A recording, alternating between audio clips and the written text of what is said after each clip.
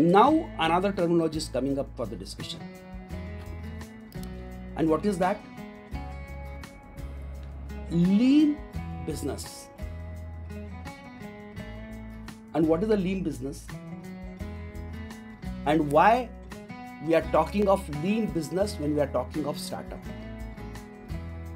You're getting my point? Why we are talking of that? See, when you are into a startup mood, you have great ideas. And if you are not an established business house in a country, I'm sorry.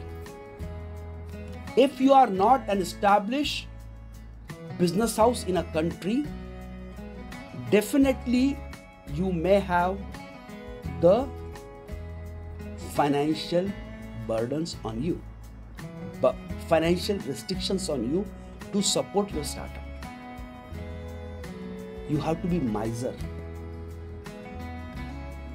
And by the way, this I'm talking about a person who wants to start a startup who do not have an entrepreneurship background, who doesn't have a business house, who does not belong to business house.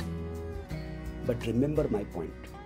It is not with only you or me who is not holding an entrepreneurship right now in his hand or who is not having a, a regime of entrepreneurship with him.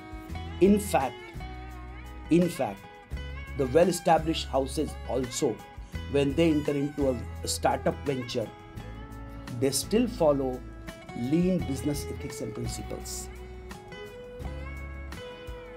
If you have surplus money, it is not there to waste. If you don't have money, still you don't have to waste. Clear? So the wastage of money in all the scenarios, whether you have surplus, you don't have surplus, not acceptable because it impacts your top line and bottom line. It becomes slightly more critical when it is in the startup mode because you you are going to build up your business. Okay, so in that case, lean business mindset is mandatory.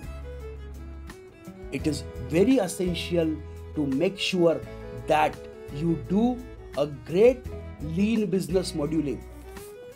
And what is that exactly? What is that exactly? It is simply stated a lean business is a business that maximizes value while minimizing the waste. We had our lean Six Sigma session, correct? And in that lean Six Sigma session, what we understood? Lean means avoid the waste, lean and thin. Sigma was what? Make the product accuracy, do minimum errors.